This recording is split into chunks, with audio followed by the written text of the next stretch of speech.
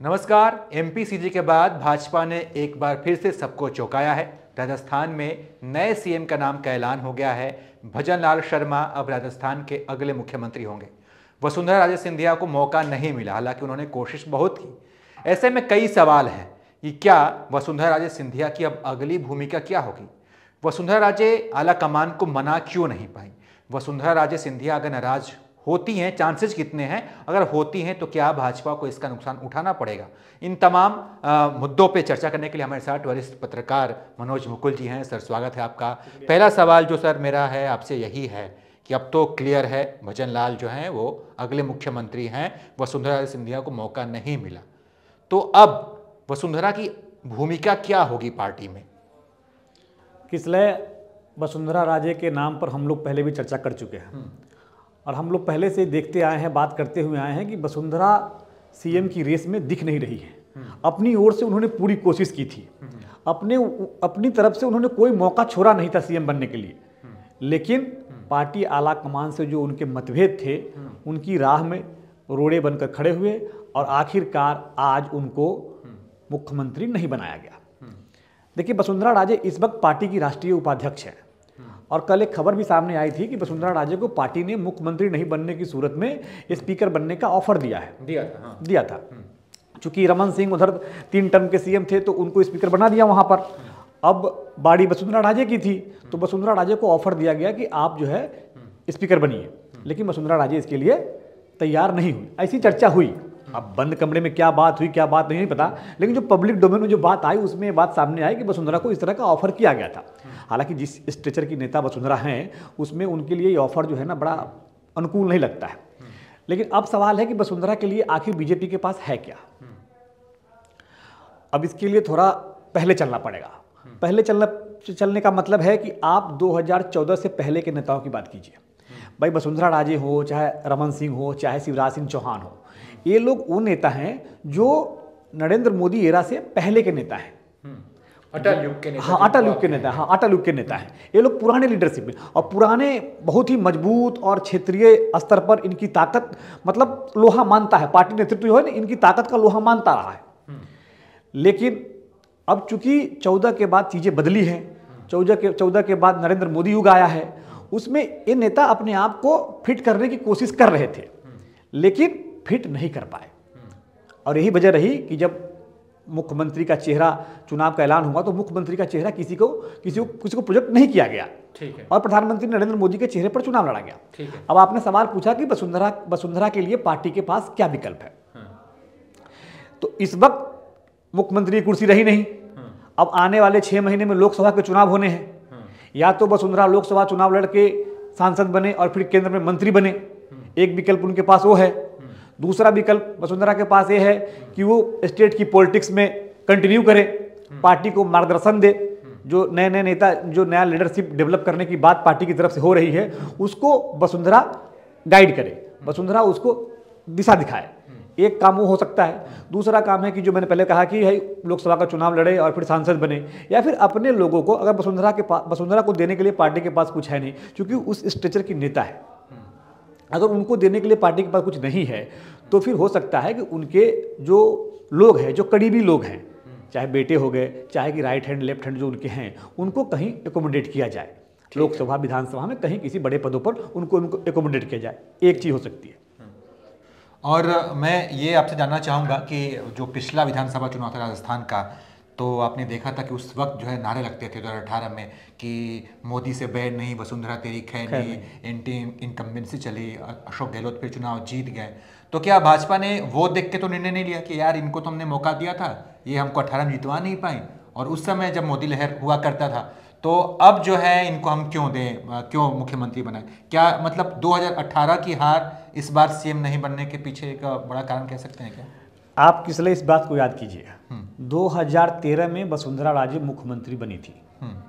2013 में जिस वक्त वसुंधरा राजे मुख्यमंत्री बनी थी उस वक्त नरेंद्र मोदी भारतीय जनता पार्टी की तरफ़ से प्रधानमंत्री पद के उम्मीदवार घोषित हो चुके थे। अच्छा। और उस वक्त देश में एक मतलब मोदी के नाम की लहर चल पड़ी थी।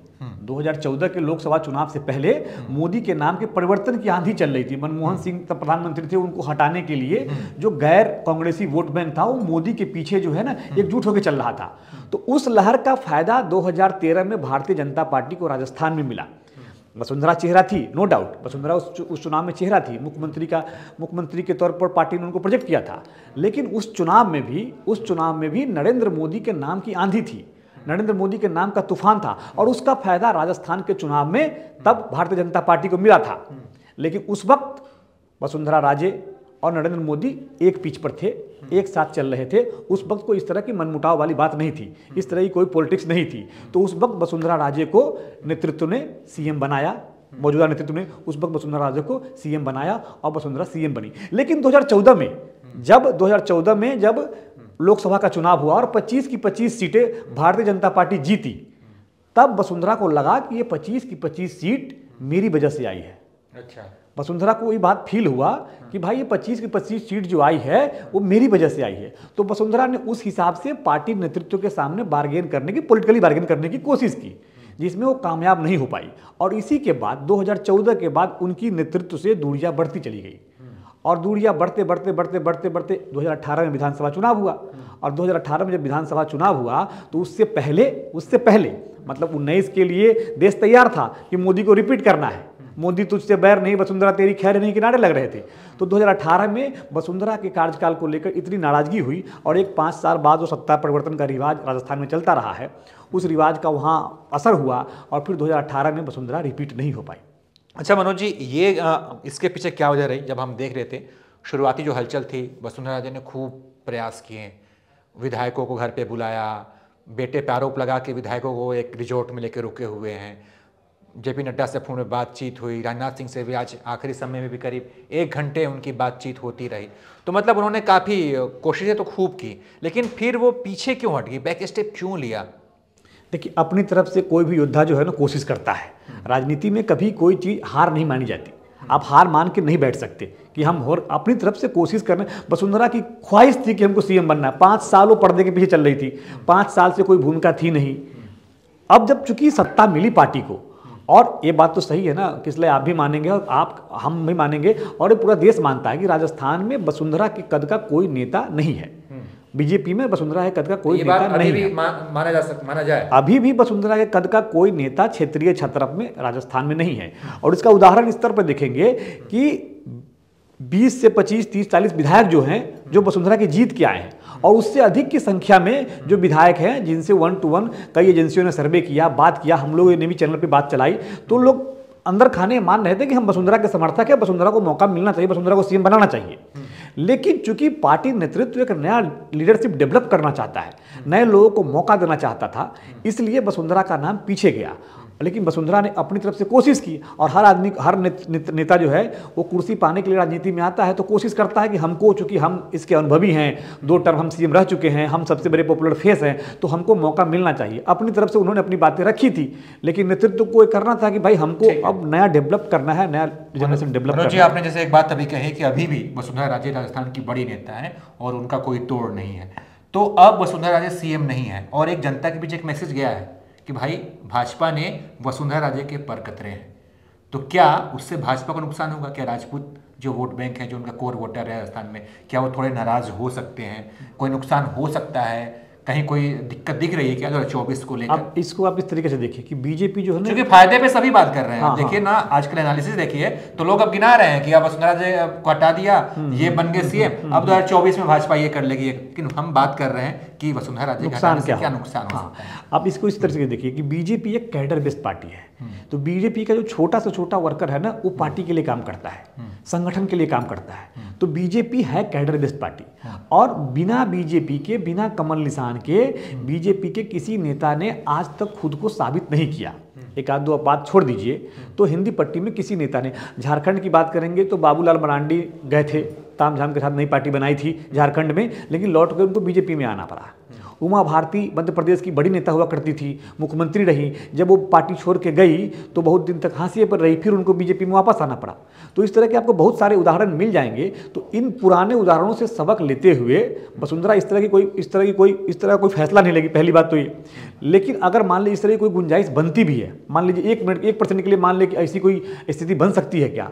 तो इसका जवाब यही होगा कि देखिए, भारतीय जनता पार्टी एक कैडर बेस्ड पार्टी है और बिना पार्टी के निशान के पार्टी के नाम के किसी नेता का कोई यहाँ वैल्यू नहीं है। वही पार्टी ने साबित करने की कोशिश की है कि देखिए, एक छोटा से छोटा पाँचवीं पंक्ति में बैठा हुआ जो लाइन लगी थी विधायकों की फ़ोटो खिंचवाने की, पांचवीं पंक्ति में बैठा हुआ नेता भी मुख्यमंत्री बन सकता है, जिसको खुद नहीं पता कि वो मुख्यमंत्री बनने जा रहा है। जो फ़र्स्ट टाइम का एमएलए है, वो भी बीजेपी में मुख्यमंत्री बन सकता है। तो पार्टी ने इस तरह की मैसेज देने की कोशिश की है। तो इससे क्या होता है कार्यकर्ता जो होता है ना, जो ज़मीन पर काम करता है, जो बूथ पर वोटरों को लेकर जाता है, वो बूस्टअप होता है। उसको लगता है कल को मैं भी संघर्ष करूँगा, मैं भी काम करूँगा पार्टी के लिए तो कल को मुझे भी बड़ी ज़िम्मेदारी मिल सकती है। तो इसको आप इस तरीके से देखेंगे कि जो जातीय संगठन पार्टी ने साधने की कोशिश की है वो की है लेकिन वसुंधरा इस तरह का कोई काम नहीं करेंगी। हाँ थोड़े दिन तक वो मनमुटाव करेंगी।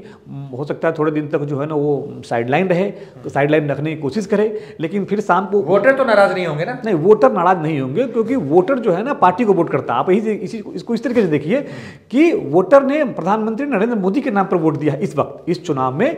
किसी चेहरे को आगे करके वोट नहीं दिया। प्रधानमंत्री भाई पहले दिन से हम लोग कहते आ रहे हैं ना कि भाई वसुंधरा को आपने आगे नहीं किया, वसुंधरा को कहीं लीड कहीं मंच पर नहीं जगह जगह दी, कहीं कोई रैली नहीं कराया कोई इस तरह का प्रोग्राम नहीं कराया। वसुंधरा मतलब बहुत पीछे चल रही थी सब चीज़ों में तो पार्टी ने खुद को आगे रखा, प्रधानमंत्री नरेंद्र मोदी के नाम को आगे रखा, निशान को आगे रखा और उसी निशान की बदौलत पार्टी जीत के आई और फिर आज की जो स्थिति है आपके सामने है। ठीक है तो भजन लाल शर्मा जो है राजस्थान के अगले मुख्यमंत्री होंगे। वसुंधरा राजे सीएम नहीं बन रही हैं और अब उनका भविष्य क्या होगा?